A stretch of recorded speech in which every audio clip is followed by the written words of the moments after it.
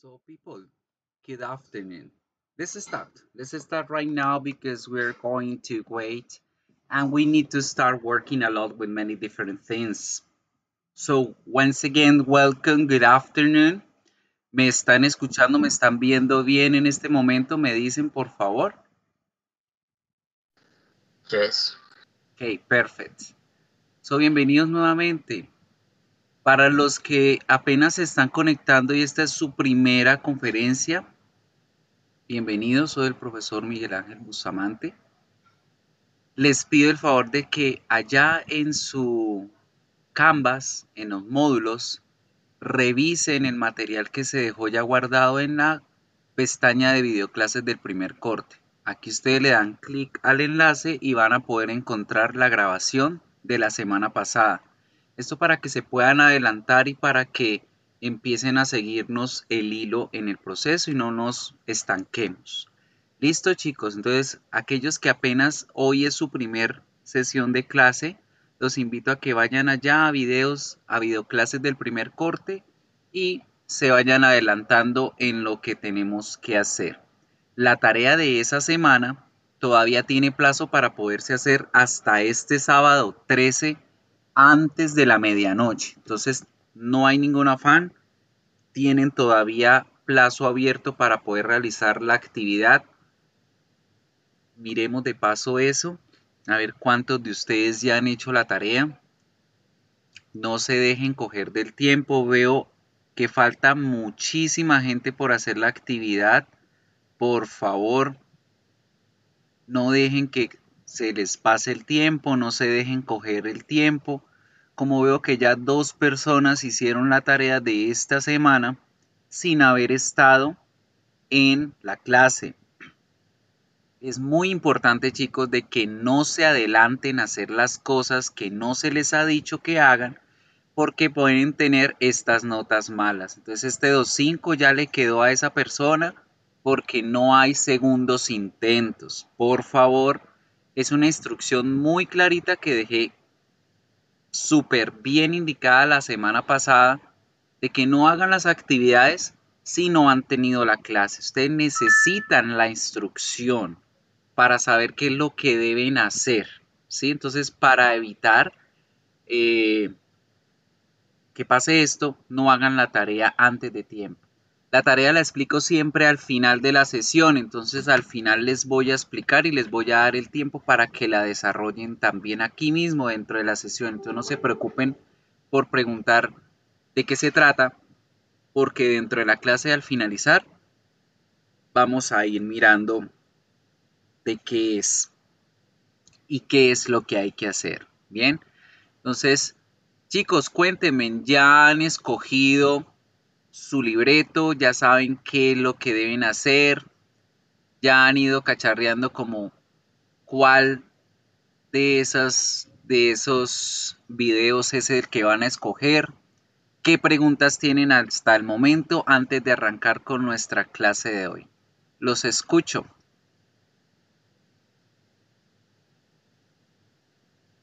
Cuéntenme, ¿todo bien? ¿Les han funcionado los videos? ¿Han podido descargarlas los libretos.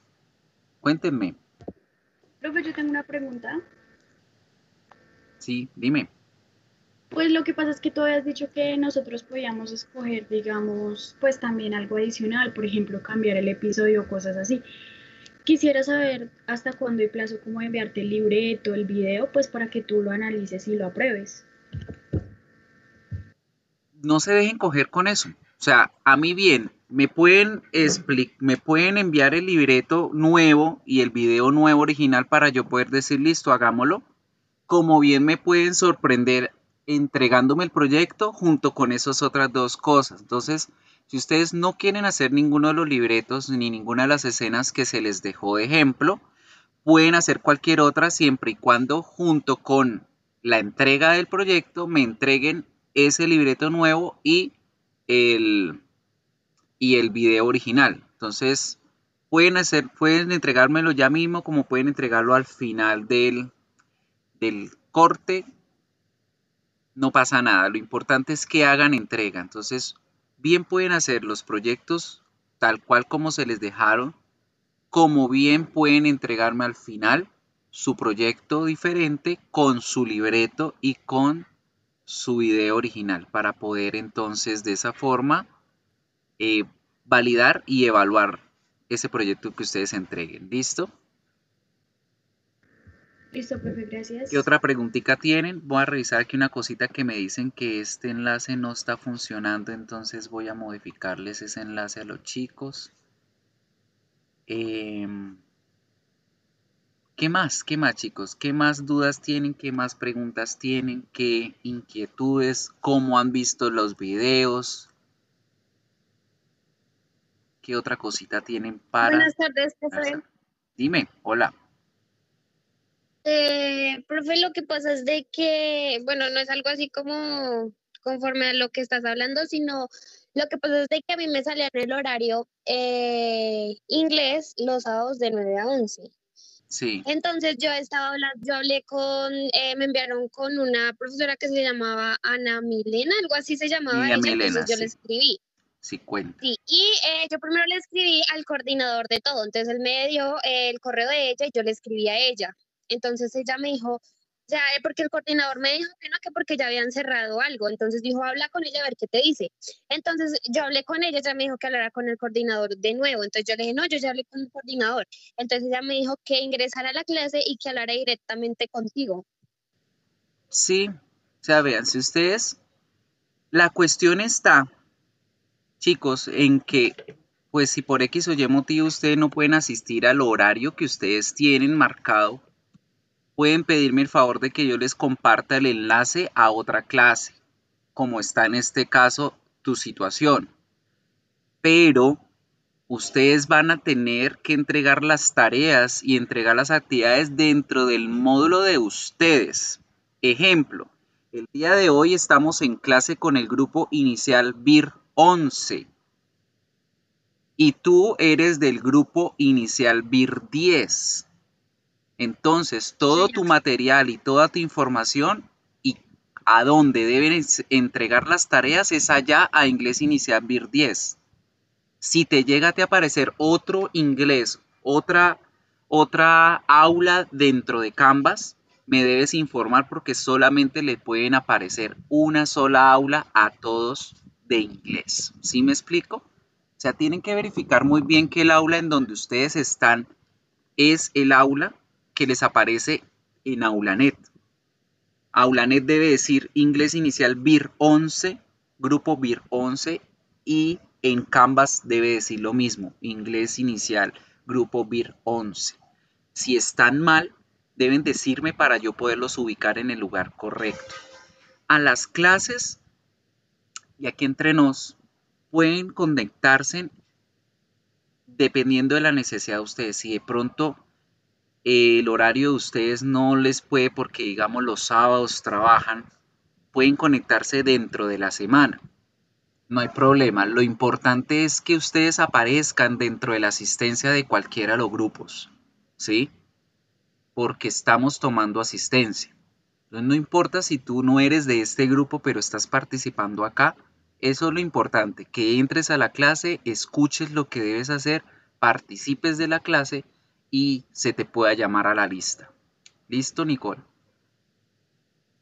Bueno, sí, señor, muchísimas gracias. Good. Let's start. Vamos a empezar para los compañeros que tengan número de teléfono o algo, contacto con nosotros, coméntenles que ya les corregí el, error, el error del enlace y vamos a arrancar. So, during this week, we're going to learn some basics about English grammar in present simple with Bertie be and Bertie have. So, el día de hoy les voy a, a introducir un poco el tema de lo que corresponde al presente simple en sus dos verbos gramaticales más importantes, que es el verb to be and verb to have. El verbo to be, chicos, ya ustedes lo saben, lo han estudiado toda su vida, el verbo ser o estar, ¿verdad? Y el verbo to have, que va a corresponder al tener. Entonces vamos a abrir los materiales, aquí en verb to be presentation, ustedes van a encontrar este genially, me dicen por favor si lo pueden ver. ¿Sí lo pueden ver? Sí, señor. Listo. let's pay attention. Hoy vamos a, a centrarnos un poquitico, no a tanta profundidad en lo que corresponde al verbo to be, cómo lo vamos a utilizar, qué debemos saber de él, para con él empezar a trabajar nuestras producciones orales. So, this is the learning material. We're going to start working and getting familiar with the TV series scenes to learn about the realistic situations in a foreign language. But apart from this, we're going to describe the scenes and situations based on the interactions of characters in specific contexts in order to identify expressions and ideas.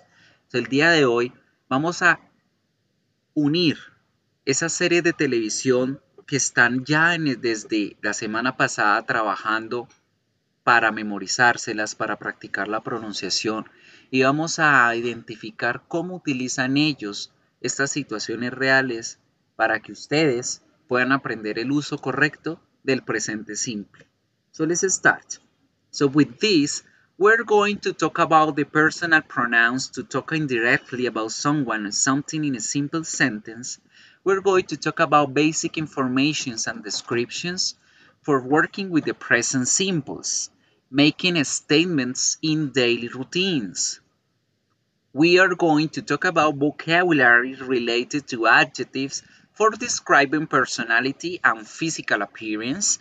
And of course, we're going to make these adjectives into sentences using possessive adjectives to talk about people, places, and objects.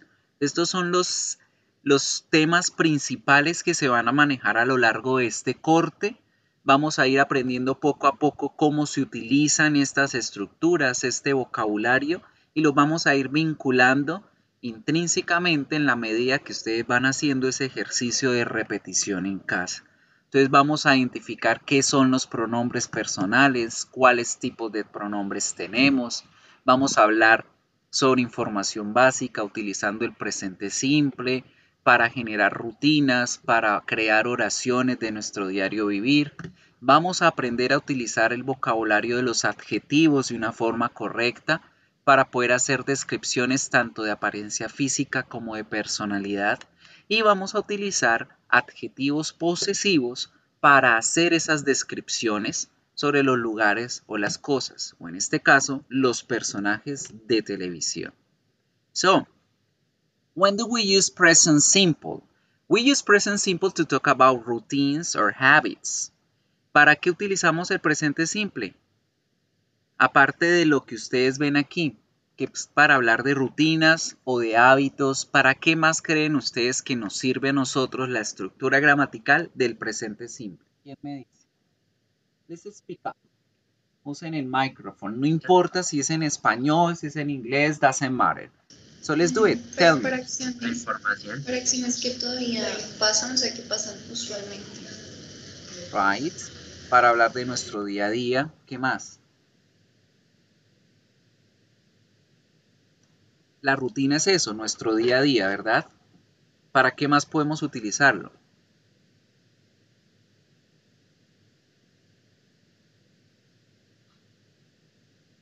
Nada más.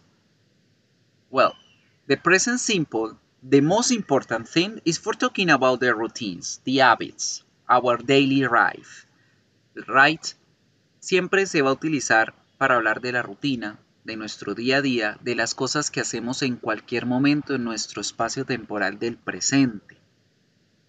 Pero el presente simple también se puede utilizar para hablar de hechos, de cosas que son reales y para poder expresarnos de algo que va a pasar hacia el futuro. ¿Cuál va a ser el uso correcto? Generalmente el presente simple. Pero si ustedes a una oración en presente simple le ponen una fecha, ya no está hablando del presente, se está dirigiendo hacia el futuro. So, for example, I can say, I study English with my English students on, on Thursdays. Yo estudio inglés con mis estudiantes de inglés los jueves eso me indica que estoy haciendo una rutina. Todos los jueves yo hago esa actividad. Pero si yo digo, I study English with my English students next month, al decir el próximo mes, ya estoy diciendo que esa rutina va a ocurrir hacia un futuro. Entonces fíjense cómo el presente simple no solo me sirve para hablar de mi día a día, sino también para hablar hacia un futuro. Do you have any other doubts? Preguntas? Nothing? So, how we use the present simple? ¿Cómo se utilizan las oraciones positivas en presente simple? Well, it is simple like this that you watch. I love watching comedy movies. Kids enjoy watching cartoons. They give series of concerts. An actress is a person who portrays a character in a performance. Some people really like going to the cinema. Todas estas oraciones están hechas en presente simple. ¿Y de qué están hablando? Gustos como los que están aquí en la izquierda. I love watching comedy movies. Me gusta, amo, me encanta ver películas de comedia. Kids enjoy watching cartoons. Los chicos disfrutan ver caricaturas. They give series of concerts. Ellos dan series de conciertos. Cuando yo utilizo el presente simple, también puedo hablar de mis gustos, de mis preferencias o de las cosas que hago como parte de mi tiempo libre. También puedo explicar con el presente simple quién soy, qué soy, cómo estoy tanto física como emocionalmente, al igual que alguna descripción en general de dónde estoy ubicado. Y es allí donde el verbo to be entra a jugar una parte muy importante, porque él es el que me ayuda a dar esas expresiones y esas explicaciones. For the negatives, tenemos una particularidad vamos a utilizar los demás verbos un poco similar a como los hacemos en español, que en español yo digo yo no canto muy bien, yo no estudio los lunes. En español decimos la partícula no antes del verbo y aquí, si se pueden dar cuenta, tenemos ese no antes del verbo, pero con una característica especial que la vamos a estudiar más adelante y son los auxiliares o los verbos auxiliares. So, some examples in English we have He doesn't know how to act. Él no sabe cómo actuar. He do not act in musicals. Ellos no actúan en musicales. Laura does not know how to act. Laura no sabe cómo actuar. They do not sing, they just dance. Ellos no cantan, solo bailan. He does not perform a skit to amuse the crowd. Él no performa, él no hace el performance o él no actúa. Perform es un sinónimo de act, de, de actuación. Él no hace un performance de una situación para entretener a una audiencia. So if you can notice here, estamos enfocando las diferentes estructuras gramaticales que tenemos. Y la última es las preguntas, the question part. So we have different questions, WH questions, yes, no questions, but in general, all of them are going to have this grammar structure for far. So how do they have fun? ¿Cómo es que ellos se divierten?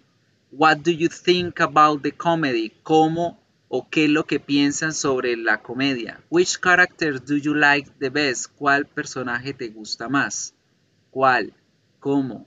¿Dónde? ¿Por qué? para qué son las famosas WH o las preguntas abiertas o las yes no questions que vamos a ir mirando que son las preguntas cerradas, las de sí o de no. Esto chicos es un breve un breve review, una general information que poco a poco vamos a ir introduciendo y vamos a ir revisando. So we're going to skip some things, vamos a a saltarnos este, esta presentación. Yo se las voy a, a dejar de tarea para que la revisen a profundidad y les voy a explicar en este momento las estructuras como tal y cómo van a funcionar con el verbo to be y con el verbo to have. Before starting, ya hablé algo acerca de el verbo to be les comenté que servía para solo cuatro cositas. ¿Quién se acuerda? ¿Quién me dice para qué es que funciona? Somebody? Nadie? Come on, people, let's start active because ¿Profe, this- repites la pregunta? tenemos al verbo to be, ¿cierto? Que se llama ser o estar. Tiene dos significados, ¿sí? Ese verbo to be, yo les expliqué ahorita en la breve presentación que se utilizaba principalmente junto con el presente simple para cuatro cosas. ¿Para cuáles cosas es? que sirve? Verb to be. Tiene Acciones, profe. Lugares. Ok, por ahí de los lugares, sí, yo dije algo de los lugares. ¿Para qué? ¿Para qué? ¿Quién me dice? Talk about places, para decir dónde estamos, ¿cierto? Porque si se acuerdan bien, el verbo significa ser o estar, ¿sí? Ser o estar. ¿Para qué otra cosa funciona? ¿Profesiones? Formación básica. Para las profesiones, muy bien. Y cuando hablamos de las profesiones, ¿qué decimos? Para decimos, para hablar acerca de lo que somos, what we are. Para decir lo que somos. Cuando usted le a alguien le diga, venga, ¿usted qué es? No se ofendan, no es que le están tratando como una cosa, le están diciendo, ¿usted qué es a nivel profesional? ¿Sí? ¿Qué es usted? Yo soy abogado, soy estudiante, soy profesor. Right? Tenemos la otra que veo Camilo la escribió por allí, describir quién soy. To talk about who we are, quiénes somos. Que ese es diferente a lo que somos, ¿verdad? ¿Quién soy yo? Yo soy Miguel. ¿Qué soy yo? Soy profesor. ¿Dónde estoy? Estoy en mi apartamento. Good. Y nos falta una. Cuando hablamos de las descripciones físicas, ¿qué es eso? ¿Para qué utilizamos el verbo to be? Para, para decir cómo estamos emocional y físicamente. Good. Para hablar descriptions. Para hablar de descripciones, sean físicas como sean emocionales, ¿verdad? Para estas cuatro cosas es que funciona el verbo to be. Verbo to be, ¿qué significa? Ser, significa estar. Y como tenemos esas dos funciones en español, en inglés también las vamos a apropiar. Y me dicen, solamente me va a funcionar para decir dónde estoy en la función de estar, quién soy, qué soy y cómo soy. ¿Me dicen por favor si pueden ver la pizarra? ¿O me están solamente viendo a mí? No, No se ve. no se ve. ¿Algunos se sí ve. la ven? ¿Otros no? Bien. Miremos un momentico acá. Los que no la ven, de casualidad están conectados desde el celular. No, señor. Están conectados desde... Yo estoy en computador. pero Están no en- está en el computador pero no la ve. Ok. Vamos a darle screen a compartir todo. A ver si pueden verla con el screen. Ya, profe, ya la pude, la pude Ahora ver. sí, Ya. Ahora sí la pueden ver, Sí, pero ahora yo no la estoy presentando. Sí, señor. Bien. Me voy a ingeniar una nueva pizarra. Utilicemos Paint para que no haya problema. Es mejor. Entonces el verbo to be es para hablar de esas cosas. Para decir quién soy, cómo soy, dónde estoy. Solamente para esas cuatro funciones me van a servir. Good. For making the descriptions or for having the development of a sentence in English, we need to remember the grammar structure. Para hacer descripción orativa, utilizando los verbos y utilizando en este caso el verbo to be, pues tengo que saber la estructura gramatical, ¿verdad? Porque a partir de ella es que yo desarrollo las oraciones y a partir de, de esto es que yo puedo crear las oraciones. ¿Quién se acuerda de cuál es la estructura gramatical universal? ¿Qué, es, qué partículas o qué partes tengo que tener yo en una oración para que se construya una oración? ¿Sí están viendo el paint? Sujeto, verbo y complemento, profe. Muy bien, thank you. ¿Sí están viendo el, el paint? Sí, señor. Ok. Para que vamos a utilizarlo así de pizarra y no nos embolatemos. Subject, verb, and complement. Very good. Esa es nuestra estructura básica cuando hablamos del verbo to be. Para poder crear oraciones yo debo tener un sujeto que haga la acción que voy a poner y un complemento.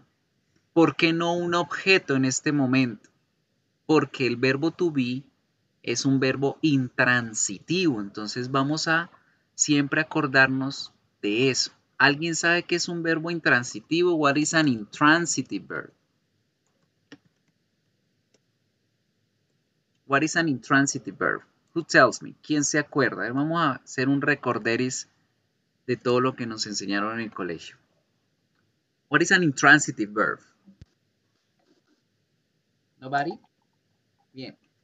Un verbo intransitivo quiere decir que no transmite o que no afecta a otra persona. Cuando yo digo yo soy Miguel, el hecho de ser Miguel no afecta a nadie. Bueno, solo a los envidiosos les afecta que yo sea alguien, ¿cierto? Pero el verbo ser o estar como tal, no, no, no, no le cae a nadie ese verbo, no lo afecta en ningún lado. Por eso es un tipo de verbo intransitivo. Como es un verbo intransitivo, pues su acción no va a caer sobre algún objeto y por tanto en las oraciones gramaticales no vamos a obtener allí un objeto. Vamos a tener un complemento. ¿Qué es un complemento? Es una información adicional, es una información que se relaciona con el sujeto que está creando la oración. Good. So now, ¿qué vamos a mirar? Vamos a mirar cuáles son los sujetos en inglés. Good. ¿Qué tipo de sujetos podemos tener en una oración? Vamos a echar un recorder y recuerde que este no es nuestro enfoque, pero quiero que se acuerden de algo y recuerden algo y vamos a empezar a trabajar en algo. Good. ¿Quién se acuerda que es un sujeto? Sí, y Bien, los sujetos pueden ser nombres. Sí, porque yo puedo decir el perro, la casa, Miguel, Camila, Carlos. Pueden ser nombres en las oraciones. Pero si yo no quiero poner nombres, ¿qué más puedo poner en vez de los nombres? Pronombres. Pronombres, Pronombres correcto. personales. Exacto. Entonces yo puedo tener nombres como puedo tener pronombres. ¿Como qué más? Si yo no quiero usar un pronombre, ¿qué puedo hacer? Puedo poner frases oracionales. Que esto va a ser una pausita muy importante que la tengan en cuenta porque va a ser algo nuevo que ustedes van a aprender. Frases oracionales. Good. Entonces, ya tenemos los componentes del sujeto. Pueden ser nombres, pueden ser pronombres, pueden ser frases. Ya vimos que como nombres podemos poner ejemplo, Miguel, ¿sí? O podemos poner el nombre de un objeto, el perro. O podemos poner a dos personas, Cami and Bill. Esos pueden ser nombres. Y yo los puedo utilizar en la oración. Pero los pronombres son palabritas especiales que cambian o reemplazan a los nombres, ¿verdad? Do you remember the pronouns in English? I, you, Yeah, I, you, we, they, he, she, it, etc. Those are the pronouns. Entonces los pronombres son palabritas que pueden reemplazar a los nombres. Entonces en vez de decir Miguel, que soy yo el que está escribiendo, pues yo escribo I. Y ya I está explicando esa persona. Por el dog, ¿qué pronombre puede ser? It. It, correcto. Y por Cami and Bill, ¿qué pronombre puedo poner? They, They. Very good. Allí tenemos a la primera, a la segunda, a la primera y a la tercera persona solamente. ¿Ustedes se acuerdan de eso? De la primera, la segunda, la tercera persona. Do you remember something about it? Yes. What do you remember? How many persons do we have in the personal pronouns? ¿Cuántos tipos o cuántas clases de pronombres personales tenemos? ¿Quién se acuerda?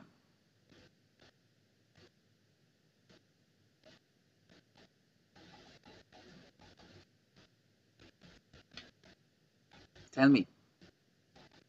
¿Quién se acuerda? Nobody?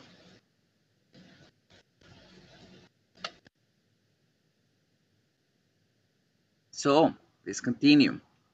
Tenemos solamente tres tipos de persona. En los personal pronouns tenemos solo tres tipos de persona.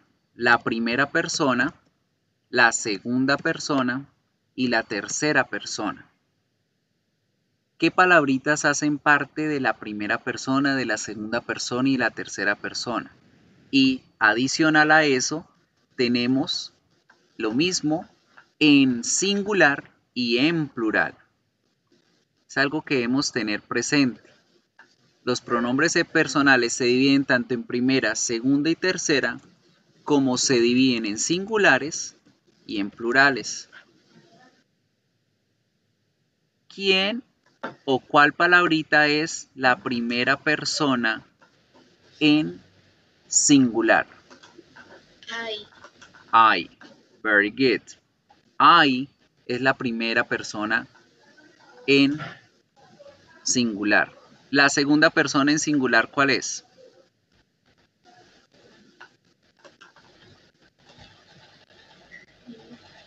You. You es la segunda persona en singular. Y la tercera persona en singular, ¿quiénes son? She. He. She, he, it. Muy bien. ¿Saben por qué es que ellos se llaman primera, segunda y tercera persona? Do you know something about it? ¿Sí saben por qué?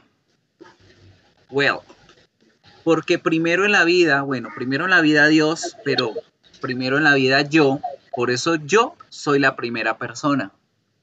Después de yo viene usted, por eso usted es la segunda persona. Primero yo, segundo usted y de tercero él, o de tercera ella, o de tercero el objeto o el animal. Por eso he, she, it son la tercera persona. Y hasta ahí no contamos más, no existe cuarta persona ni quinta Sí. persona. Entonces solo tenemos primero yo, segundo usted, tercera él, o tercero ella, o tercero el objeto o el animal. Get it? Now, how we make the plurals. ¿Cómo hacemos los plurales? Si yo estoy en medio de ustedes, los vuelvo primera persona y nos volvemos qué pronombre? We. We. Very good. So we es la primera persona en plural. Si yo que estoy de primero me los traigo a ustedes, como yo soy el primero, ahora nosotros somos el primero. Get? You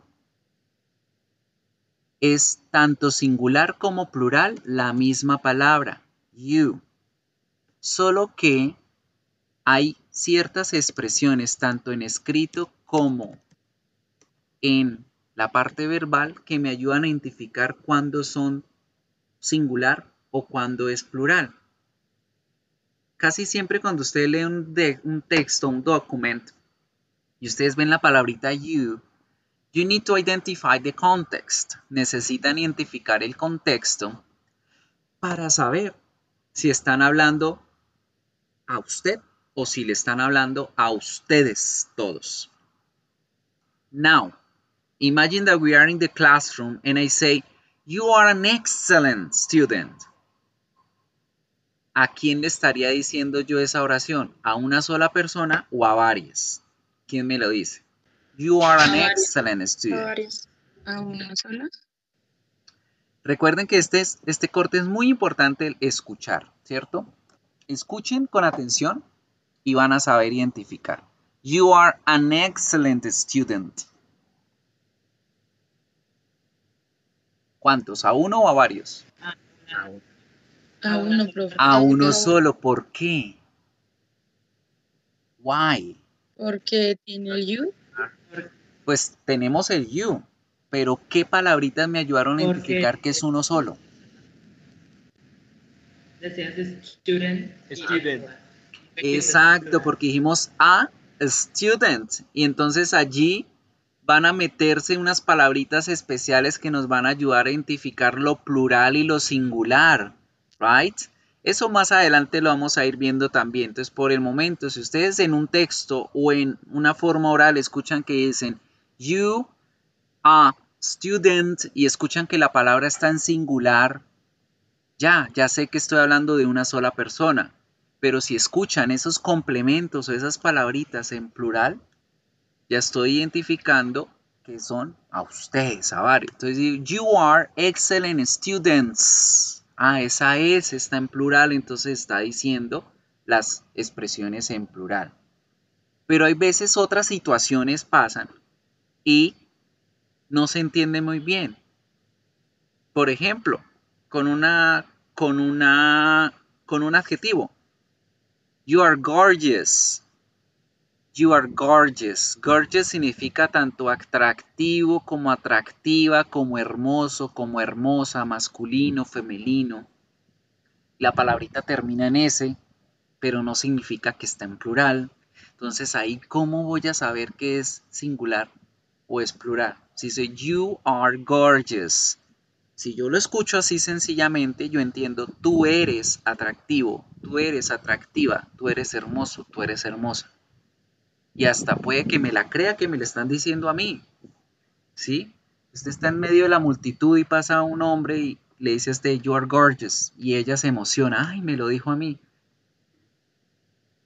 Pero en esta situación con el you, tenemos que mirar a las personas tenemos que identificar si la persona está señalando a algún lado para saber si es a mí o es a otra persona o son a varios.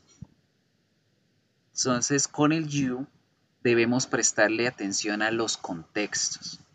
Muchas veces en inglés van a encontrar que la gente utiliza la expresión y'all o you all. Esto es lo que en contextos nos ayuda a identificar la pluralidad. Entonces, hay varias chicas reunidas y pasa un hombre y les dice, hey, you all are gorgeous. You all, you all are gorgeous. Ah, les está diciendo a todas. Pero si pasa el hombre y señala a una y le dice, you are gorgeous, solamente es a esa persona para que las demás no se las crean. ¿Sí entendieron? Yes, teacher. Good, perfect. Now, finally, the plural of he, she, it. Si hay una ella, dos ellas, tres ellas, un él, dos ellos, tres ellos, un objeto, dos objetos, tres objetos, su plural es they. Right? Entonces allí tenemos cómo identificamos la primera, la segunda y la tercera persona con los pronombres personales. Good. Now, let's move on to the phrases. Ahora, ¿qué es eso de esas, de esas frases? ¿Quién me puede decir cuál es la diferencia entre una frase y una oración? Porque es algo muy importante para tenerlo en cuenta. Una frase no es lo mismo que una oración. Lamentablemente en español eh, se ha dañado este significado. Y si ustedes ahora buscan en internet frases para enamorar a una persona, en realidad salen oraciones para enamorar a una persona, no frases. ¿Qué es una frase? ¿Qué es una oración? ¿Quién me dice?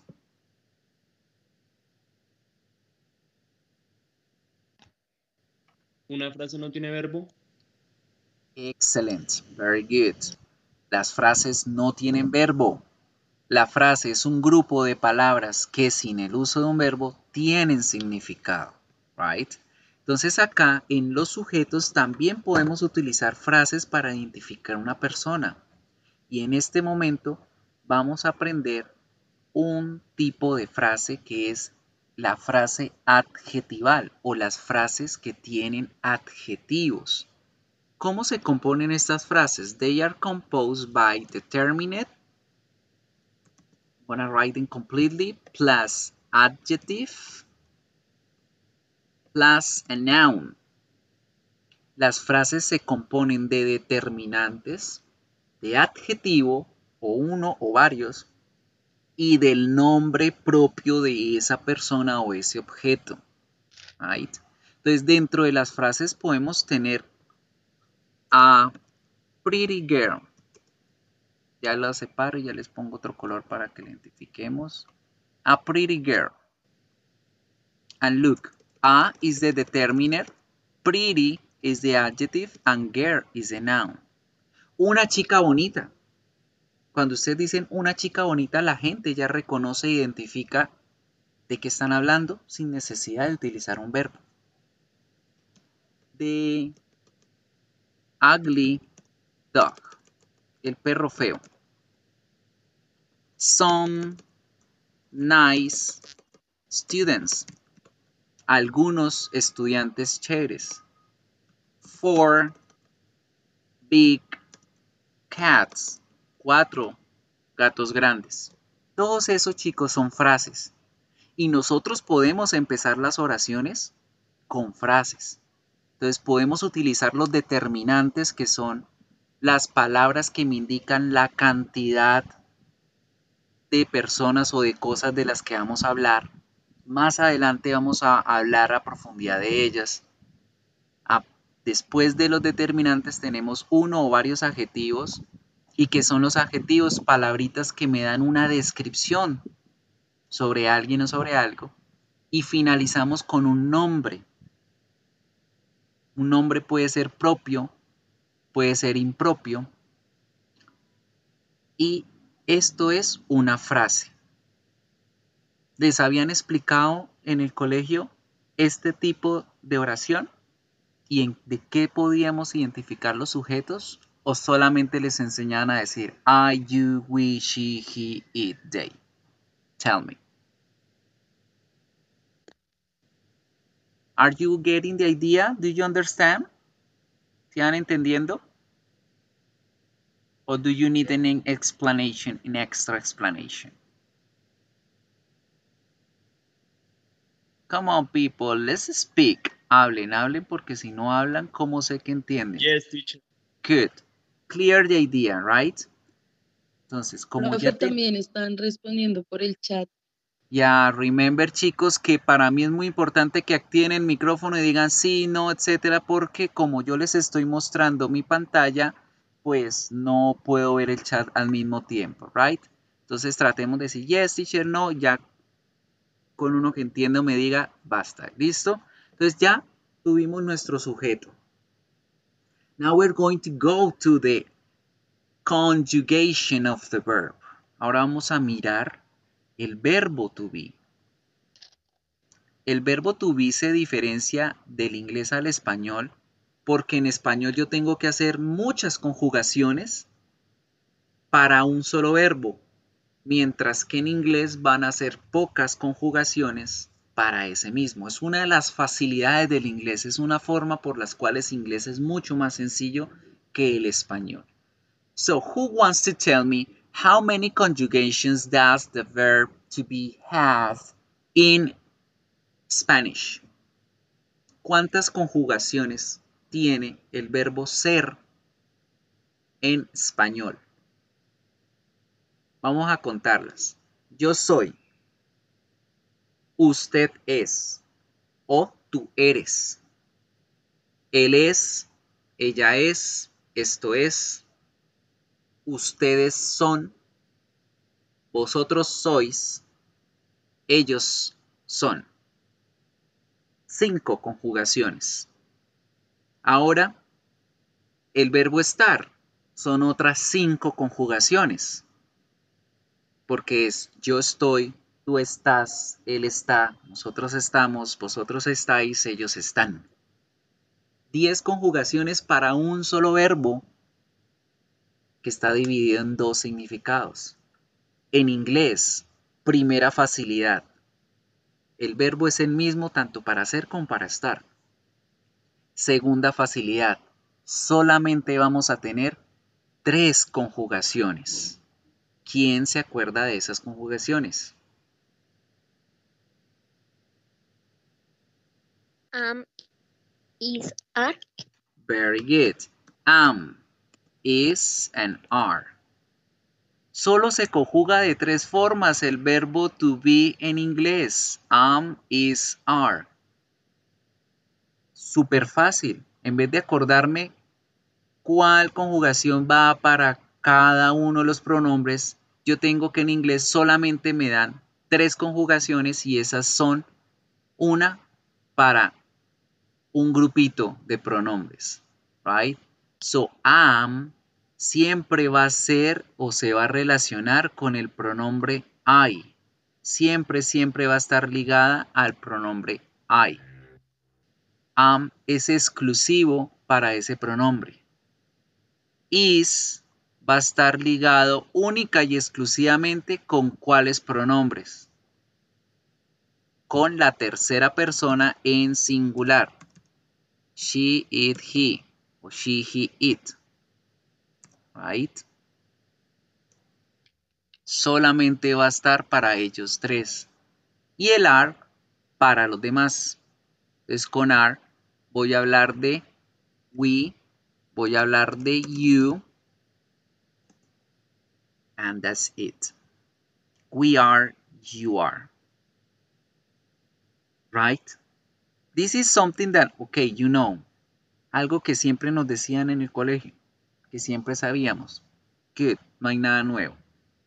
Pero es algo importante que debemos recordar siempre porque a veces se nos olvida qué pronombre va con qué verbo. Good. And finally we have the complements. Y finalizamos con los complementos y los complementos siempre van a ir relacionados a la información adicional, a esa, a esa información extra que yo tengo por decir acerca de los sujetos. Entonces el complemento es la información adicional de los sujetos. Entonces aquí es donde vamos a hacer valer los usos del verbo to be. Si yo voy a utilizar el verbo to be para hablar de dónde estoy, ¿qué tipo de complemento vamos a encontrar? Lugares. Entonces, cuando vayamos a hablar de lugares, esas son informaciones adicionales al verbo to be, los lugares. Right? Para hablar de un lugar que necesito saber, sencillamente necesito saber la ubicación del lugar y decir el lugar. Entonces, cuando ustedes escriban un complemento que se relacione a lugares, siempre debe haber una preposición más un lugar. ¿Quién en este momento me puede regalar una oración? Y la escribimos acá de ejemplo. Una oración donde utilicen un sujeto, cualquiera de los sujetos, el verbo que le corresponda y que me hable de dónde está ubicado ese sujeto. ¿Quién me lo dice? I am. Ok. I am In the restaurant. in the restaurant. Very good. Y fíjense en el uso del verbo to be aquí para hablar de dónde estamos. I am in the restaurant. I am in the restaurant. Podemos decir también una frase. The good students are in their homes. Los buenos estudiantes están en sus casas. Right? The good students es una frase. Allí estamos indicando un artículo, un adjetivo y el sujeto. The good students are in their homes. O podemos hablar de una tercera persona diciendo she is at home. Ella está en su casa, está en su hogar. By the way, ya que toqué la palabra home, ¿cuál es la diferencia de decir she is at home a decir she is in a house? ¿Quién me la dice? She's at home, she's in a house. Que she is at home es ella está en casa y she is in a home es ella está en una casa. Pues sí, en contexto literal, pues no hay diferencia. La diferencia sería la palabrita una casa, pero en, en significado de las palabras, ¿cuál es la diferencia entre decir she's at home and she's in a house? Una está dentro de la casa y que la otra está la ubicación de la casa. No. En ambas situaciones la niña está dentro de una casa.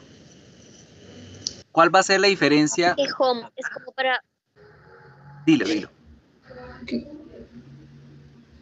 Que home es hogar y house es como tal la casa física. Muy bien. Entonces, siempre que ustedes se refieran a el hogar donde está su familia, donde usted vive, van a decir home, at home. I am at She is at home. My sister is at home. Están refiriendo que están en casa con su familia, donde viven. Pero si van a decir que están en una casa, en un, en un, en una edificación, decimos she's in a house. Esa es la diferencia, ¿cierto? Entonces, para que la tengan muy en cuenta, porque el momento que ustedes vayan a hablar también de ustedes, puede que ustedes estén en una casa que no sea la de ustedes, ahí dicen I am in a house. In my friend's house, en la casa de mi amigo. Right? Pero si están en su hogar, deben decir siempre at home, at home, at home. So, primer uso de los complementos, que habla sobre los lugares. ¿Dónde estoy? Vamos con el segundo. ¿Qué soy?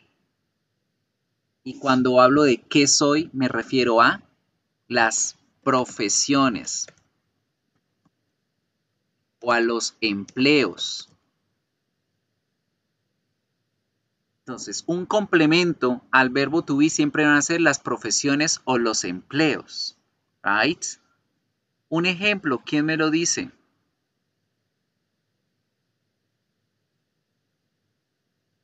Vamos a sacar esta parte para dejar del color rojo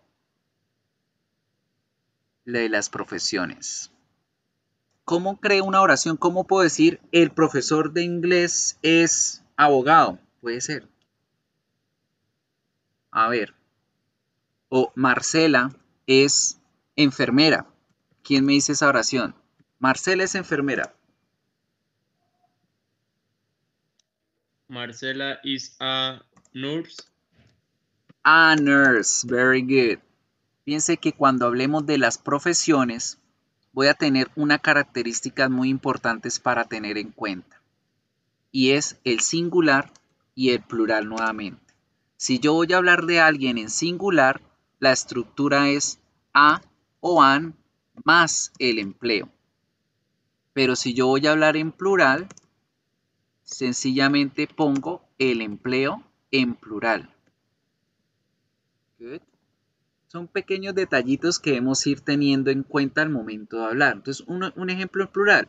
They are lawyers. Ellos son abogados. They are lawyers. Y ahí está la palabrita en plural, pero no utilizamos el a o el an. A o an solo va cuando hablamos de singular. Ya tenemos dos usos del verbo to be. Faltan los otros dos. ¿Quién me los dice? ¿Dónde estoy? ¿Qué soy? ¿Qué más?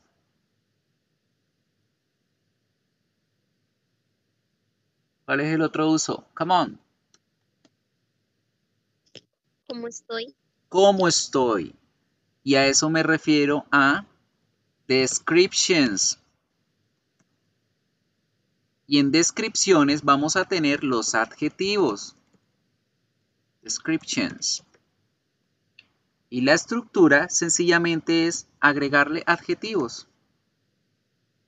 Bien sea adjetivo solo o adjetivo en frase, como ya lo hemos visto. Entonces, ejemplos. ¿Cómo estás tú? We are fine. We are fine. Y fine es estamos bien. Por cierto, cuando alguien les pregunta, hey, how are you? Ustedes nunca respondan, fine, thank you, and you, porque eso era como en el colegio, ¿no? Good morning, how are you? Fine, teacher, and you? No, ese fine en inglés o en la vida real es como un bien, ahí, respirando porque es gratis, ahí. Sí, un más o menos significa realmente el fine. Entonces pueden utilizar muchos otros adjetivos como we're great, excellent, eh, more or less, so so, dependiendo de su estado emocional, podemos utilizar diferentes adjetivos aparte del fine. Good, so we can say we, we are fine, we are excellent, we are very good, whatever of them. Y ya con eso estamos diciendo una oración que me está diciendo cómo estoy cómo estoy, el estado del momento, right? Podemos utilizar frases como they are a little sad. Ellos están un poco triste.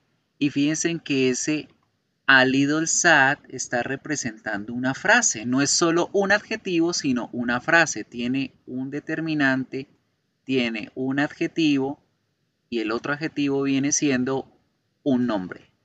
They are a little sad. Ellos están un poco tristes. Good. Pero resulta que las descripciones no solamente son about emotions, about feelings, about the state of the moment, but they also fan about physical appearance. Entonces también podemos utilizarlo para hablar de descripciones físicas. Y lo mismo, puedo hablar con un solo adjetivo como puedo crear frases. Good, so for example, las voy a poner aquí al frente y en verde para que las identifiquen. Las de naranja están hablando de las emociones momentáneas o de el estado momentáneo de la persona y las de verde van a ser las apariencias físicas. You are, por ejemplo, you are, ¿quién me ayuda? Una apariencia física, a ver. You are You are qué? Handsome. You are handsome. Okay, you're handsome. Eres guapo. Handsome. Si ven que escribo alguna palabrita mal, me informan porque por escribir de carrera sufro de dislexia, leo rápido y la idea es que ustedes aprendan bien la escritura de las palabras también. So, you're handsome. Tú eres guapo. O tú estás hermoso para los hombres. Good. Esa es una descripción en apariencia física.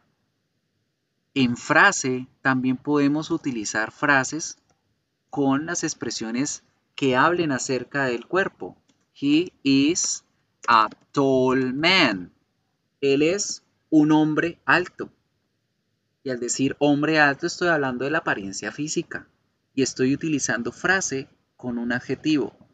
Good y finally, finalmente terminamos con el último uso del verbo to be que es ¿qué es qué? El primero, ¿dónde estoy? El segundo, ¿qué soy? El tercero, ¿cómo estoy? o ¿cómo soy? Y el último, ¿quién soy? Por lo tanto, pues el último, el más sencillo, los nombres. right? Que pueden estar clasificados como propios o impropios. Propios, mi nombre, right? She is Marcela. Impropios como she is a student. Que se puede confundir con la profesión, pero están hablando también de quién es ella. Ella es una estudiante. Good. And people, this is the verb to be. Este es el verbo to be en su estructura gramatical en positivo. Right? So we have the subjects, we have the verbs, we have the complements. Tenemos sujeto, verbo, complemento a la información. And period. Y esa es la forma sencilla de utilizar el verbo to be. Solamente me sirven para esas cuatro cosas. Decir quién soy, dónde estoy, cómo soy, qué soy. Tómense dos minutos y copien ahí en su cuaderno. ¿Quiénes son ustedes? ¿Dónde están? ¿Cómo son? ¿Cómo están? ¿Y quiénes son? Y al azar, yo les voy a llamar y les voy a decir, bueno, Camilo Mora, tell me. O Darling Galindo, tell me. Right? Entonces, a ver, dos minuticos para que respondan esas preguntas. ¿Quiénes son ustedes? ¿Dónde están? ¿Qué son? ¿Cómo están? ¿Cómo son físicamente? Mientras hacen el ejercicio, invito a los que están conectados con un solo nombre a que se salgan y vuelven y se conectan con los nombres completos para poder llamar a la asistencia. Recuerden siempre, siempre, siempre conectarse con los nombres completos para poder llamar a la asistencia. ¿Listo? Entonces, dos minuticos. A las 3 y 8 les pregunto al azar. Let's do it.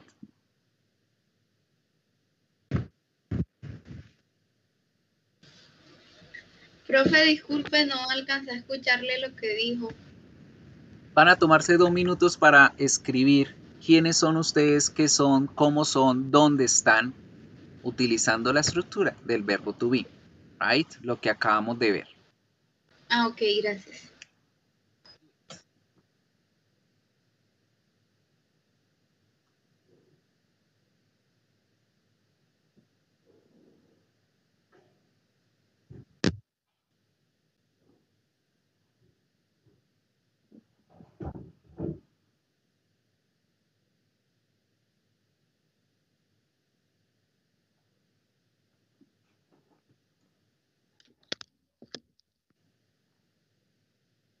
One minute.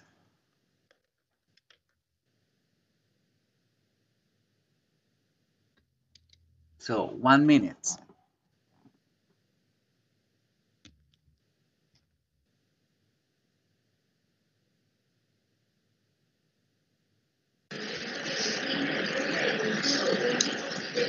Who is ready?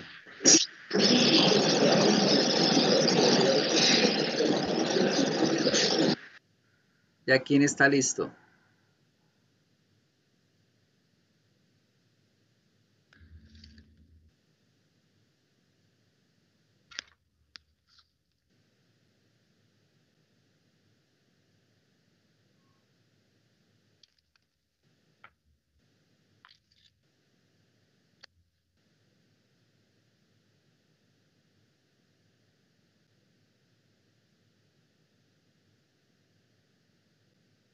Nobody.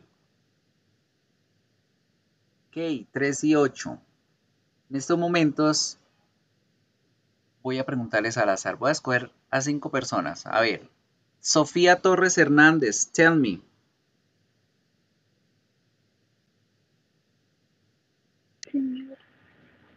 Tell me, who are you? What are you? Where are you?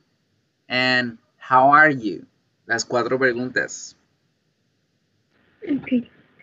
Um, my name is Sofia Torres. I, I have a 16 years old. I am at home with my mom. Okay, good. Luis Camilo Aldana.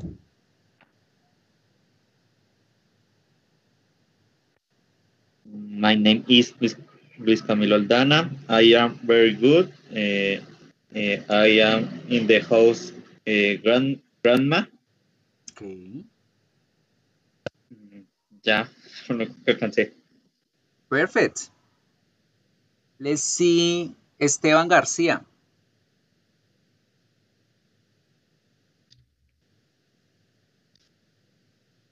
Hi, teacher. Good. I am Esteban Garcia. I am 21 years old. And I am studying English. Ok.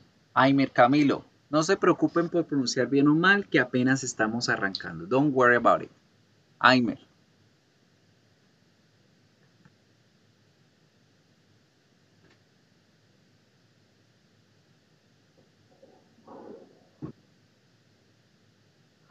Estoy viendo quién está prestando atención, quién está por ahí acostado en la cama. A ver, Aimer Camilo, come on. Ani Valentina Vargas. Eh, I am Camilo, I'm 16 years old. I'm a student and I'm in my room and I am happy. Very good. Where are you? ¿Dónde estás? Que eso suena por allá en un jardín, en un parque. I am in my room. Ah, yeah, sure. Ah, ok. And finally, Ani Valentina Vargas, ahí la última. Listo, profe. Eh, my name is Valentina. Um, I am a student. Yes. Um, I am small. Good. Bien, muy bien, very good. Poco a poco, cuando vayamos viendo los niveles y los temas, vamos a ir identificando ciertos adjetivos que no debemos utilizar con las personas y ciertos adjetivos que se deben utilizar con las personas. But good, excellent, very good. Small. Small es para los objetos o para las cosas. Para nosotros decimos short, de que somos bajitos, right? But perfect. Okay, Excellent job. entonces I am short. Very good job. Now, people, we're going to talk about the verb to have. Vamos ahora a hablar del verbo to have, a mirar de qué se trata el verbo to have. Good. Y con este verbo vamos a hacer una aclaración importantísima.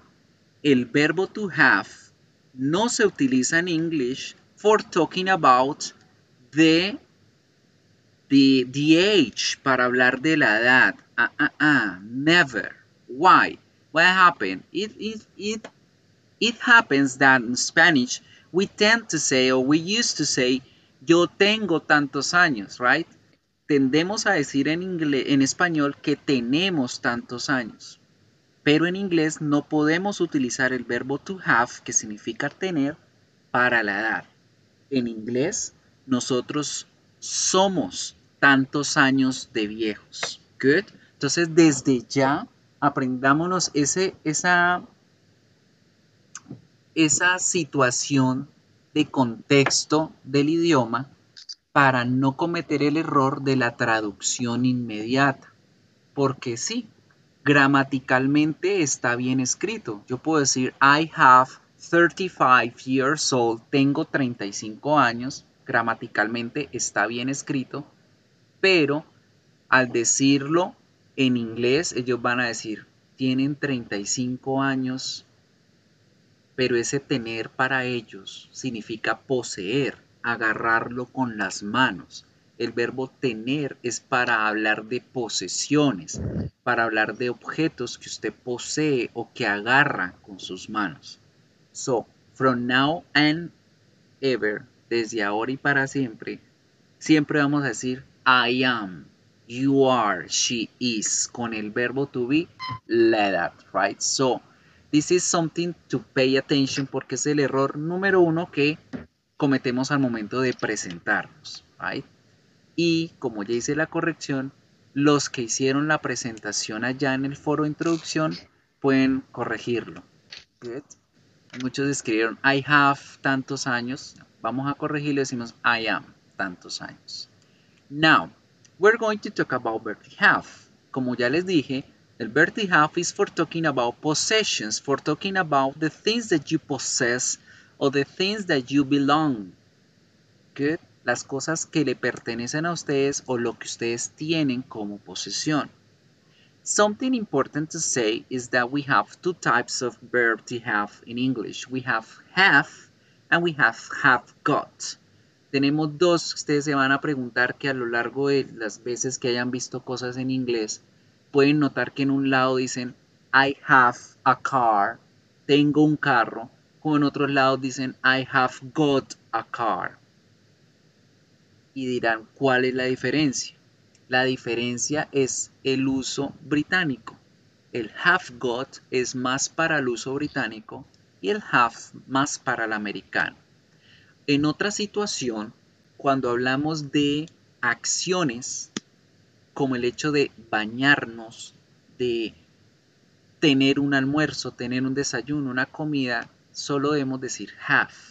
El have got es más que todo cuando yo poseo algo, cuando me pertenece algo.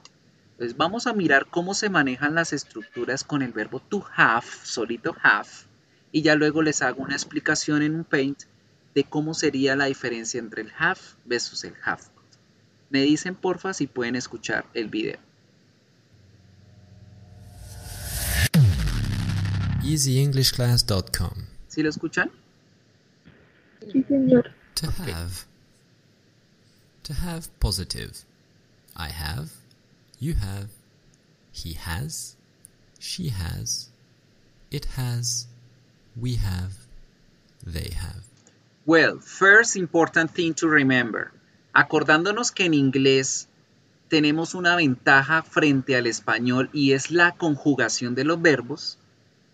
For all of the rest of the verbs that we can find in English, we're, we're only going to have two different conjugations. Solamente vamos a tener dos conjugaciones diferentes en el español, porque dice yo tengo, tú tienes, usted tiene, él tiene, ella tiene, esto tiene, nosotros tenemos, ellos tienen. Cinco conjugaciones nuevamente.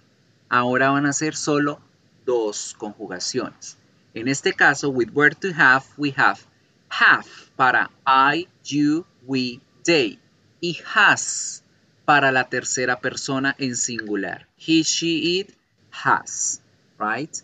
So that is something that is also important to take into account para no Careful the confundirnos con la escritura. I have. Have. The third, third, the third person is the thing that it is going only to be in conjugation. A ponerle un poquito más de velocidad. Has. She has.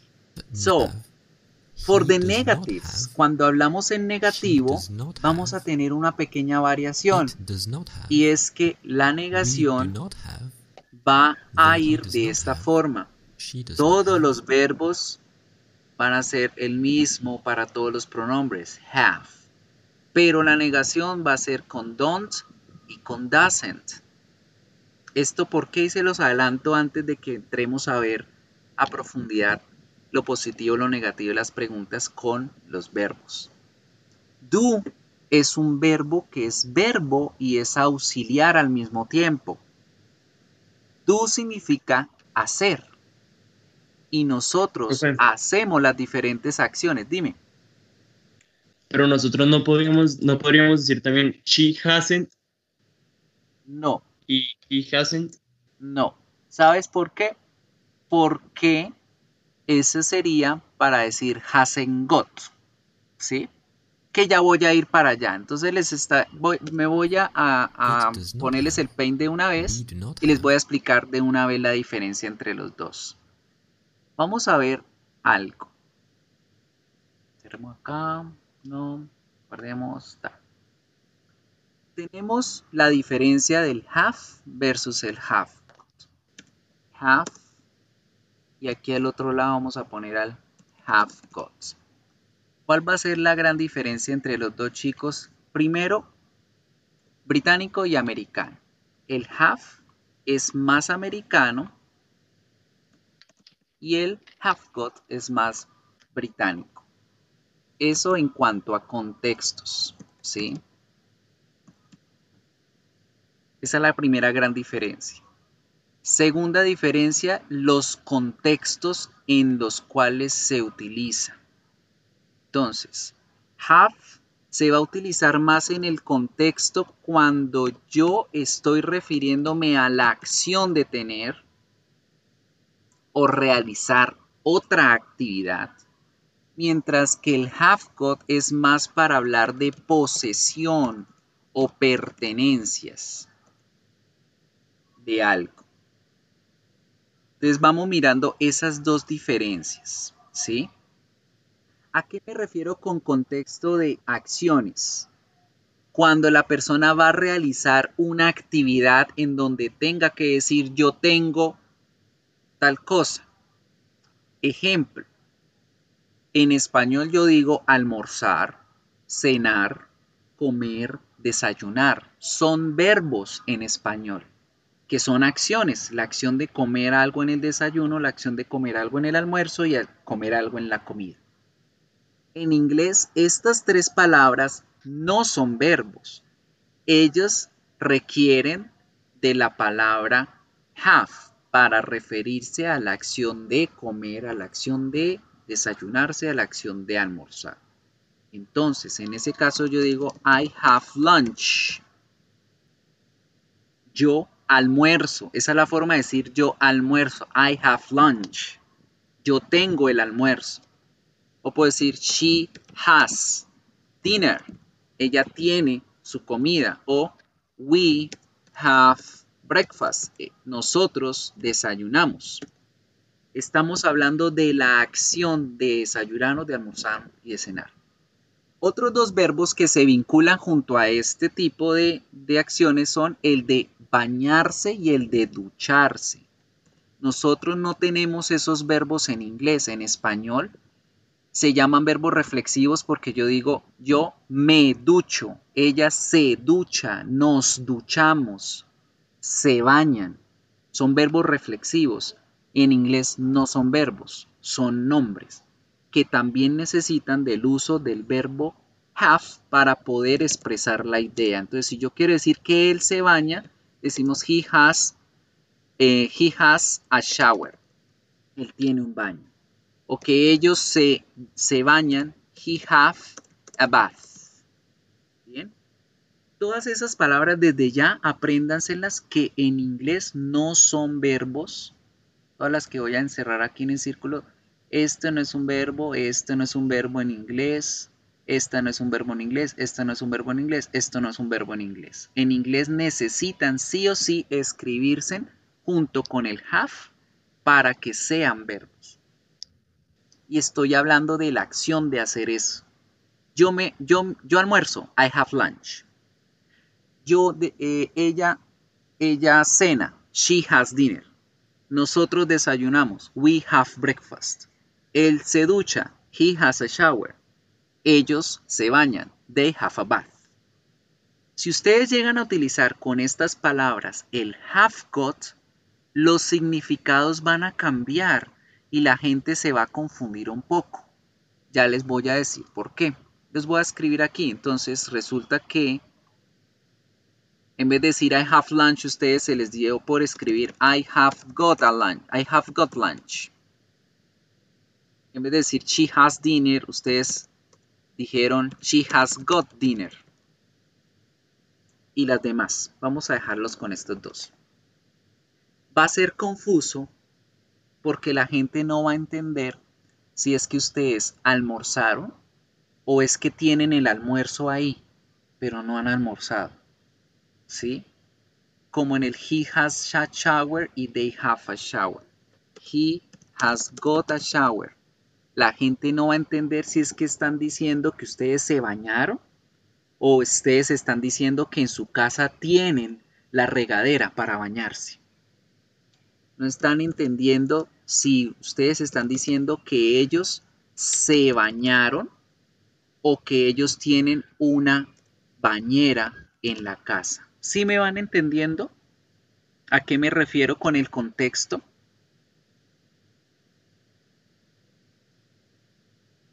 Tell me. ¿Sí me entienden? Hello. Yes, Un teacher. momento voy a sacar la Yes, ouija. teacher. Es que a veces me toca sacar la ouija, decir hay alguien aquí con vida que me responda. Good.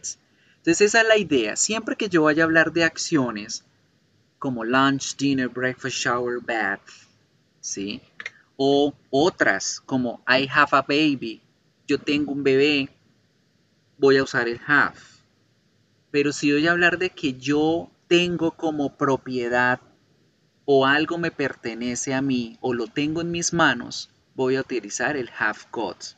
Entonces, en estos casos, debo tener mucha precaución con el uso del have, porque sí o sí tienen que usarse con solo have. Y en estos, sí o sí, no se pueden usar con el solo have, ¿sí? Porque se van a confundir, van a crear confusión y van a decir, bueno, ¿la tiene o lo está haciendo? En otras situaciones, cuando hablo de que algo me pertenece a mí, ya puedo decir cualquiera de las dos. Y la gente pues va a entender de acuerdo al contexto a qué se refiere. Entonces, hay cosas cuando se refieren a objetos o animales o a relaciones personales con otro ser, que cualquiera de las dos oraciones puede servir. Entonces yo puedo decir como la que dije ahorita, I have a, I have a lover, tengo un amante. O puedo decir, I have got, I have got a lover, tengo un amante. ¿Por qué la gente lo va a entender más? Pues porque un amante es más como una pertenencia y como una posesión a, a una acción, ¿verdad?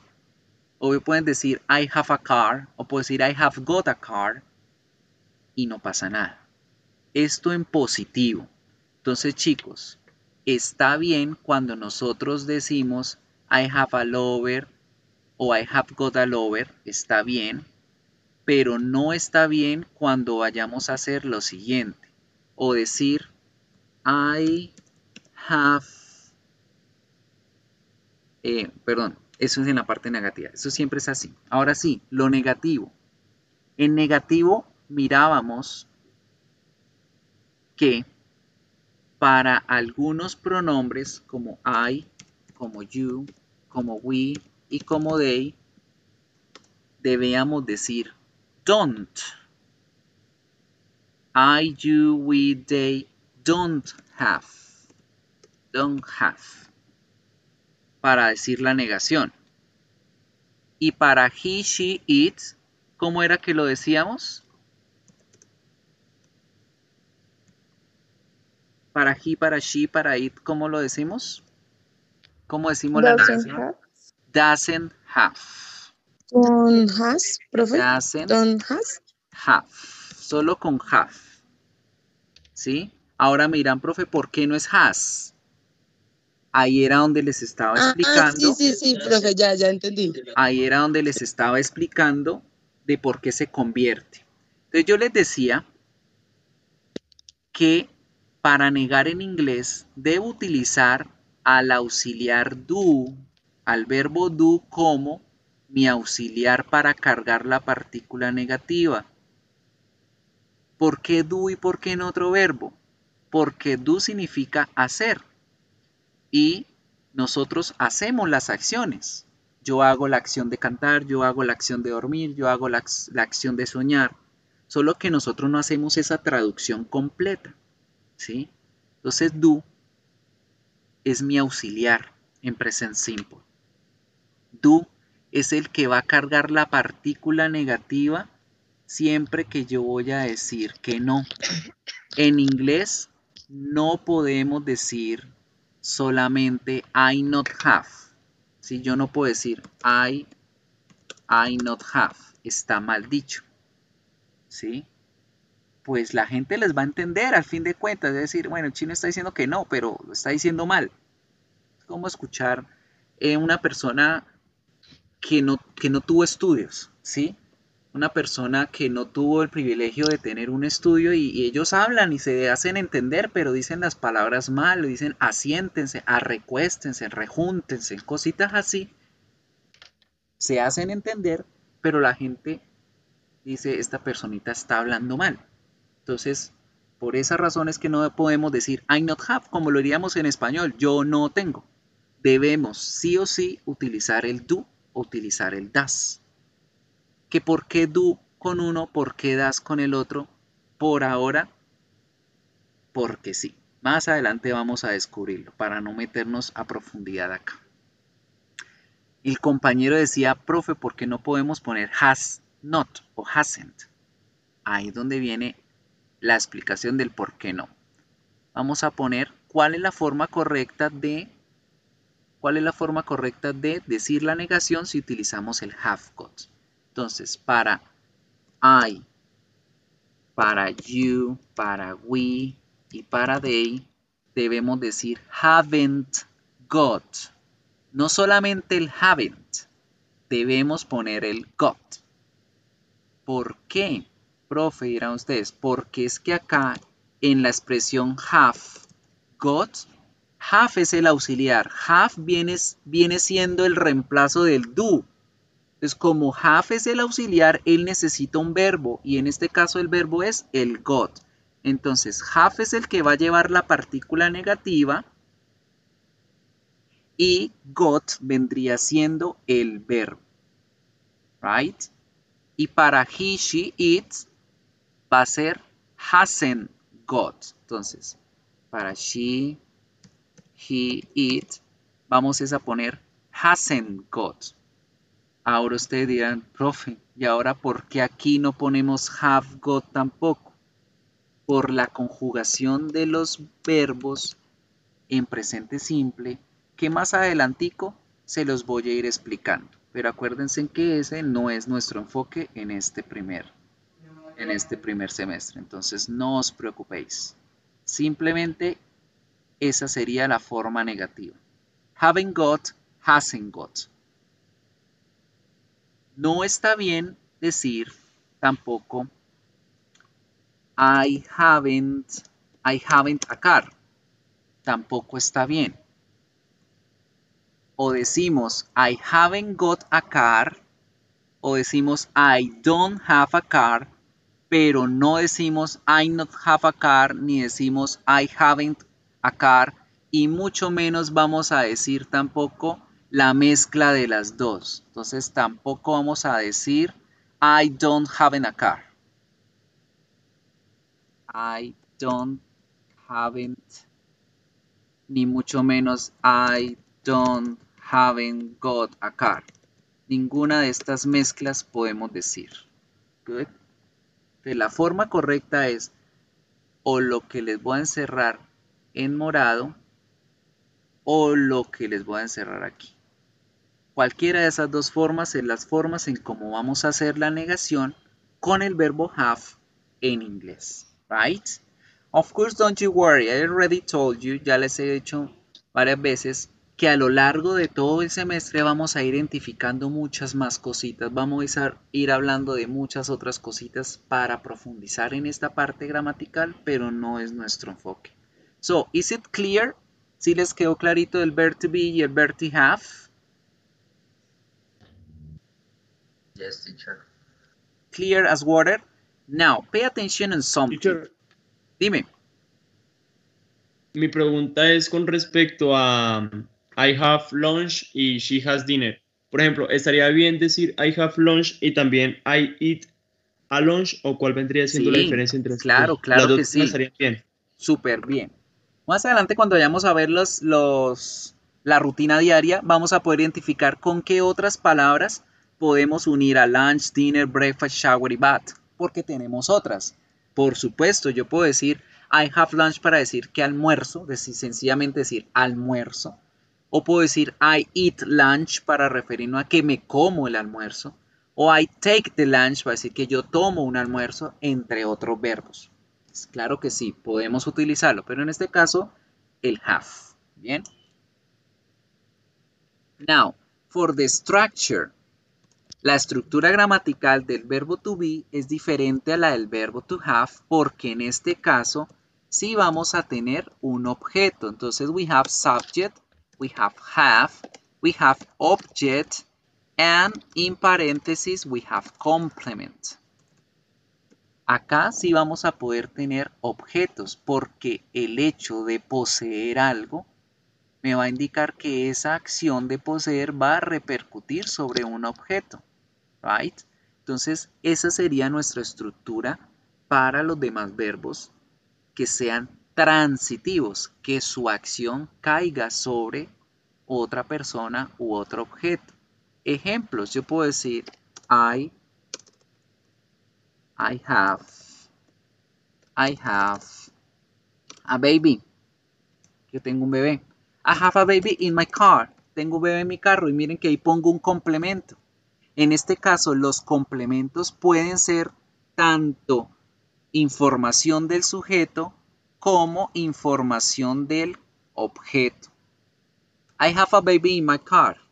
O yo puedo decir, she has got, she has got an ugly dog. She has dog, an ugly dog. Ella tiene un perro feo. Y fíjense que puedo seguir manejando lo de la estructura gramatical, las frases adjetivales, ponerle adjetivitos, cambiar. Por ejemplo, yo puedo decir a pretty, pretty cat has seven, bueno, no sé cuántas son las vías que tiene el gato, creo que tiene nueve, nine lives. Un gato bonito tiene nueve vidas, etc. So those are the grammar structures for verb to be and for verb to have. Esas son las estructuras gramaticales básicas del verbo to be, del verbo to have. Good. Now, with these people, me dicen si ven la pantalla de, de Canvas. ¿Sí la ven? Sí, profe. Good. Sí, profe.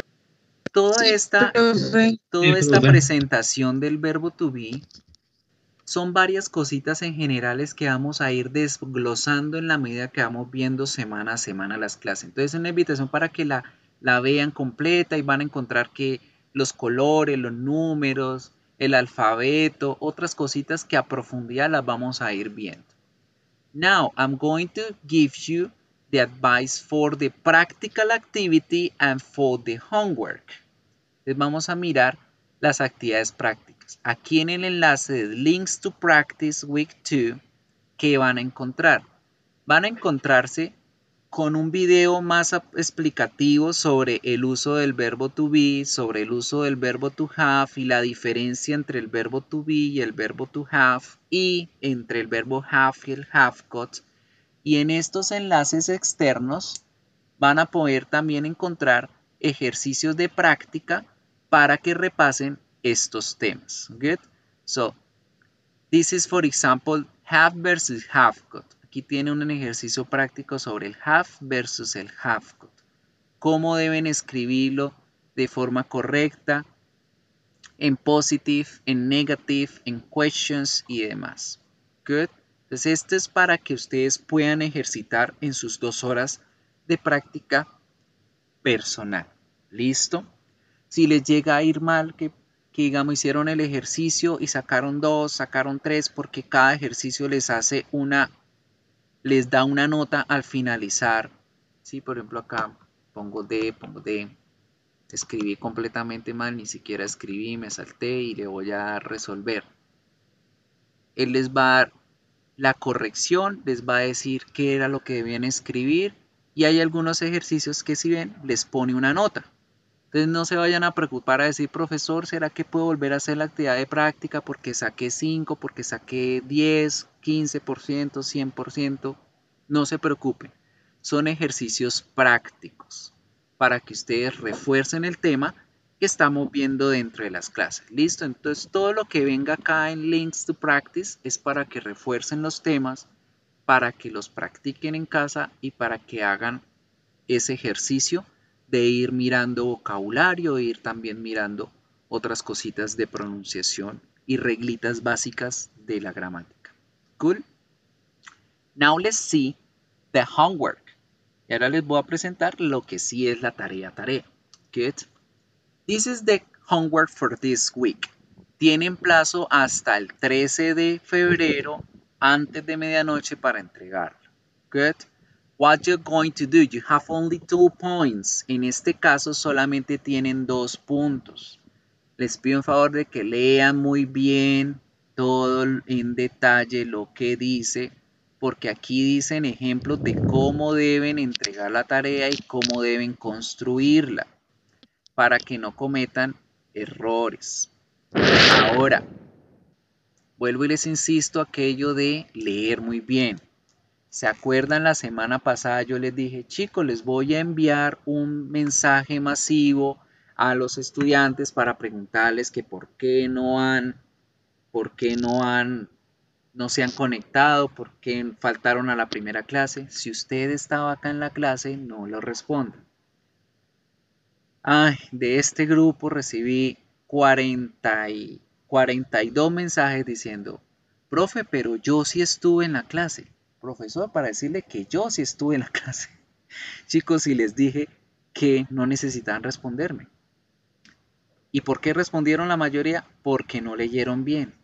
El mensaje decía muy claro, disclaimer, si usted sí recibió el mensaje, haga caso omiso de esta notificación y bórrela. Pero no, no leyeron bien. Entonces, por favor, es una invitación a que lean. Lean muy bien porque en todas partes cometemos errores por no leer bien.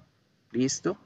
Entonces, miren, aquí van a tener two points, solo van a tener dos puntos, que se trata de leer y de completar con, en el primer punto donde vean a Wilhelmina de parte de Betty, de Ugly Betty, van a usar el verbo to be en affirmative o en negative para llenar los espacios de las oraciones. So there you have, you have Wilhelmina, tienen una es un párrafo acerca de ella y ustedes deben escribir en el espacio en minúscula, por favor, y sin utilizar contracciones si esa oración va en positivo o va en negativo. ¿Sí entendieron?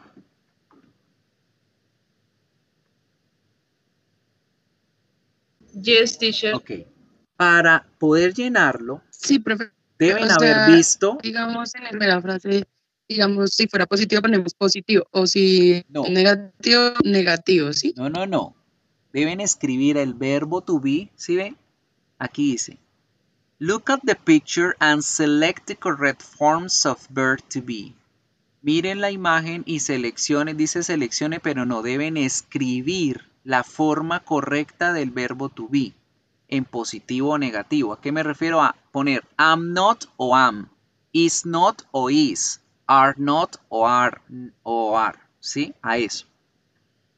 Otra cosa, ustedes dirán, profe, pero es un texto y yo no conozco a esa vieja y cómo hago para saber si, si es positivo o negativo. Deben haberse visto el video de Ugly Betty para poder llenar la información. Yo les voy a regalar las dos primeras. Les dice, Wilhelmina, a very mean person. Wilhelmina, una persona muy mala, muy malvada, muy dañina. ¿Qué verbo debo ponerle aquí? Am, is, are, aren't, isn't, am not. ¿Cuál? Is. Is. Is. Entonces Is, deben ponerlo en minúscula y de esa forma. Right? She, a former supermodel. Ella, una, una supermodelo. eh, former significa ya jubilada, por decirlo. ¿Cuál pongo? Entonces, para saberlo, deben ver las series y para saberlo deben averiguarlo. Entonces, supongamos que no. Entonces, yo pongo she is not. Ojo, de esta forma. No me lo pongan en contracción porque si lo ponen en contracción puede quedarle mal. ¿Por qué? Porque de pronto ustedes puedan hacer la contracción de esta forma. Y así no es la contracción. Puede que pongan la contracción pero se les fue una tilde y no el apóstrofe. ¿Qué es una tilde? Cuando la rayita se ve inclinada, sea hacia la derecha o sea hacia la izquierda. Si ustedes la ven inclinada hacia la izquierda es una tilde francesa. El apóstrofe es el que está en la tecla del interrogante final. Es ese. Y esa sería la forma de contraer correctamente el verbo to be con el negativo. Pero no lo hagan para que no les vaya a quedar mal. Si ustedes creen que la respuesta es negativa, lo van a poner de esta forma. ¿Sí? Sea are not, etc. Ustedes deben leer muy bien, chicos. Lean, tómense en el tiempo. Porque el verbo to be se acuerda que depende de las personas, ¿no? Entonces, si acá Wilhelmina es una, pues es la tercera persona y por eso pusimos is, ¿verdad? Pero si hablamos de her parents, por ejemplo, ¿qué pongo? Is, are o am? Are. Are, correcto, Are. porque dice her parents, Are. sus papás, sus papás son o sus papás no son, ya depende de lo que ustedes vayan a leer. Good. Now, the second point, segundo punto. Lean siguiente y les va a aparecer el segundo punto. En el segundo punto tienen a esta chica, ella hace parte de Grey's Anatomy. Ella es Meredith.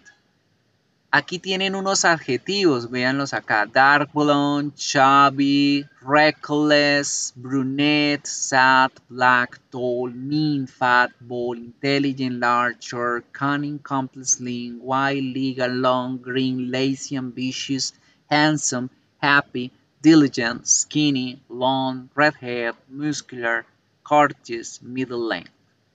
Todos esos adjetivos pueden re- referirse a ella como pueda que no. Ojo que aquí dice que los que están en paréntesis son una sola palabra. Entonces, para que no se confundan al momento de escribirlas, copienlo. Ustedes llegan, le van acá, le dan control C, copiar y ahora leen las descripciones sobre Meredith y miran en qué lugar deben poner la palabra correcta. Entonces, por ejemplo, acá, Meredith Grey hace ejercicio todos los días, entonces ella es de un largor mediano. ¿Será que sí? ¿O será a chubby? ¿O será tall? ¿O será bald? ¿O será handsome? ¿Cuál palabrita será allí? ¿Listo?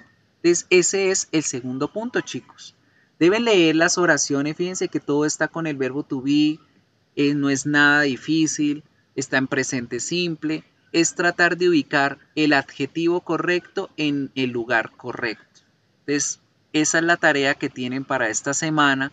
Vamos a ir introduciendo este vocabulario porque poco a poco, a lo largo de todas las clases, vamos a ir trabajándolos, vamos a ir perfeccionándolos. Y un consejo, todas estas palabritas que encuentren, que no conozcan, ahorita me dicen, profe, todo, pues copian todo por ahí en su cuaderno y traten de ir sacando los significados y traten de ir aprendiendo vocabulario nuevo. El ideal para una persona que está aprendiendo inglés es que trate de al menos aprenderse unas 10 palabras por semana. Con 10 palabras, imagínense, por, por semana ya es mucho al final de un año. Entonces, chicos, ¿alguna pregunta acerca de la tarea de esta semana? Profe, una pregunta. Dime. No, señor. Eh, es que lo que pasa es que estoy mirando aquí en Canvas, en donde aparece la primera actividad, el primer video. Me dice que no está autorizado. Que no está autorizado. Sí, yo voy a ingresar y no. Le doy al link, pero no me dice no autorizado. Trata de enviarme por favor el pantallazo al correo para yo verificar bien porque sin poder ver la pantalla no, no sabría cómo colaborarte. Si tienen algún problema de ese tipo que los videos no se les permita ver ni nada, porfa manden un pantallazo que yo trato de solucionarles. Hoy tengo espacio como de 6 a 8 de la noche para poder revisar esos correos y darles solución hoy mismo. ¿Listo? ¿Alguien más tiene otra preguntita? Ok, gracias. Dale.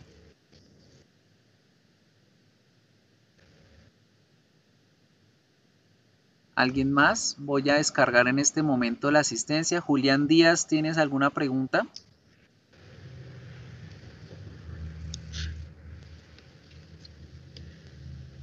Tenía levantada la mano Julián. No, nadie más.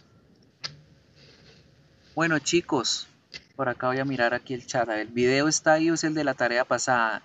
Eh, son, lo- los videos son los de la tarea pasada, ¿sí? Para poder hacer de Wilhelmina, eh, el texto de Wilhelmina, pues ustedes van a poder ver el video de Betty la Fea. O búsquenlo en internet, quién es Wilhelmina, cómo es, para que sepan. Lo mismo con Meredith de Grey's Anatomy. Pueden averiguarlo en internet, quién es ella, cómo es, para que también se puedan ayudar. ¿Listo? ¿Qué otra cosita veo por acá? Acuérdense muy bien. Bueno, aparece acceso denegado en dónde. Es que yo no sé en dónde le están dando clic ustedes, chicos. ¿A qué? Ese es. En, ma- en material. ¿En material? Sí. Ah, carambas. Ya regálame un segundito. De pronto tengo el material bloqueado y no me he dado cuenta. Gracias por informarme. Vamos a revisar. Links for practice. Ah, sí, exactamente. Ya, ya lo, ya pueden actualizar y ya pueden mirar todo el material. Qué pena con usted, chicos. Lo tenía sin publicar. Listo, gracias por informarme. Si no es más, nos vemos la próxima semana. Recuerden que los que quieran ensayar ya su pronunciación pueden hacerlo los lunes de 6 a 8 de la noche en las tutorías. Señora, Este que pues la tarea de hoy está hasta el 13 y pues tú habías dicho que tenían ocho días de, de tiempo. Sí. Muchas gracias también por acordarme. El grupo de ustedes va de jueves a jueves, entonces yo ahorita les, en este mismo momento les estoy cambiando la fecha. Siempre tienen una semana de entrega, entonces ustedes no tienen hasta el, hasta el jueves, sino hasta el 18. ¿Listo? Ya se los estoy cambiando para que les quede como fecha de entrega el 18 de febrero. Siempre van a tener una semana, claro que sí. Listo, ya la tienen cambiado. ¿Vale? Si no más, muchas gracias. Cualquier pregunta que tengan, me escriben al correo. Yo les trato de responder ahorita mismo a las 6 de la tarde. Vayan escogiendo su personaje, vayan escogiendo su video, vayan practicándolo porque este mes se pasa rapidito, ya estamos a, a 11. Entonces no se dejen para el último momento hacer esa actividad, ¿listo? Entonces, los que no pudieron entrar, Juliana Díaz, los que no pudieron entrar la clase pasada y esta es su primer clase, todas las informaciones de las semanas están ubicadas en la pestaña de video clases. Van y miran la clase, observan qué es lo que hay que hacer, traten de salir primero de esa tarea y luego se toman el tiempo para la de esta semana, ¿listo? Entonces no se preocupen por atrasarse o algo, siempre están las conferencias guardadas. Ahorita me despido de ustedes para cerrar la grabación y para poder cargarla de una vez allá en el módulo de grabaciones. ¿Listo? Si no hay más preguntas,